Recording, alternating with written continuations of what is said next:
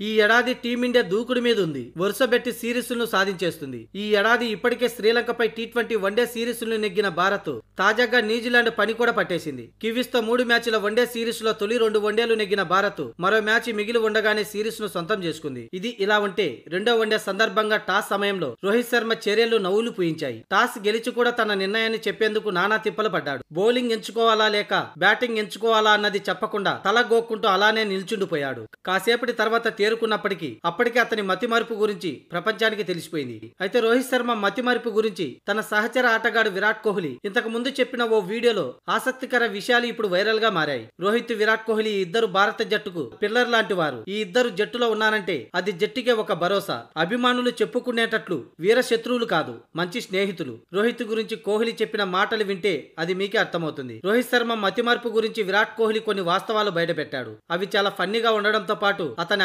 నాయకత్వాన్ని తెలియజేసేలా ఉన్నాయి. విరాట్ కోహ్లీ చెప్పిన దాన్ని బట్టి చూస్తే రోహిత్ మర్చిపోని వస్తువు అంటూ ఏదీ లేదు. ఐప్యాడ్ ఐఫోన్ వ్యాలెట్ వాచ్ ఇలా ప్రతి ఒక్కటి మర్చిపోతుంటాడట. మర్చిపోయిన సంగతి ఎవరైనా చెప్పినా పోనీలే కొత్తది కొనుక్కుంటాలే అని ఫన్నీగా సమాధానం ఇస్తాడట ఒకవేళ మర్చిపోయిన తనకు గుర్తొచ్చిన షర్ట్ ఫ్లైట్లో ఐప్యాడ్ మర్చిపోయా?